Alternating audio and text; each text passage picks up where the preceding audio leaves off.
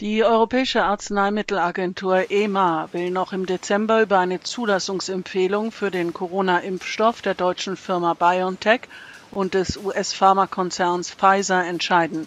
Bis spätestens 29. Dezember soll ein Ergebnis der Prüfung vorliegen, teilte die Agentur mit. Zum Antrag des US-Konzerns Moderna auf Zulassung seines Impfstoffs werde eine Entscheidung bis zum 12. Januar erwartet.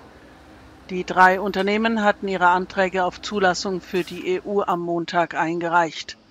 Sollte die EMA grünes Licht geben, kann die EU-Kommission die Verwendung der Impfstoffe für alle Mitgliedsländer genehmigen.